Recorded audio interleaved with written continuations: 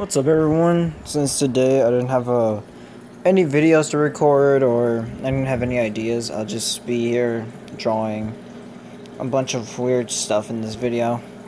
But yeah, this is a piece I'm working on for a little parody, I think parody or fan art for me and Jon Grim. I've done it twice, I believe. I did the little characters versus and I did the portrait of him.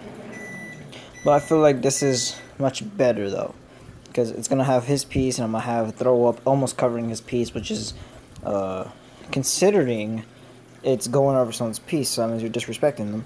But of course, I'm disrespected, Jon. You know, I don't, I don't disrespect you. It's just a, it's just a little commentary on how funny this could be.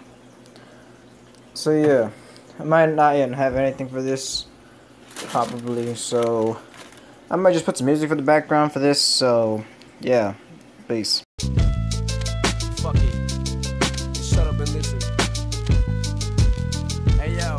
I sit back with this pack of zigzags this bag of this weed. It gives me the shit needed to be the most meanest MC on this on this earth. And since birth, I've been cursed with this curse to just curse and just this berserk and bizarre shit that works and it sells and it helps in itself to relieve all this tension, getting the stress that's been eating me recently off of this chest, and I rest again peacefully. Peacefully. But at least have the decency in you to leave me alone when you freaks see me out in the streets when I'm eating or feeding my daughter to not come and speak to me.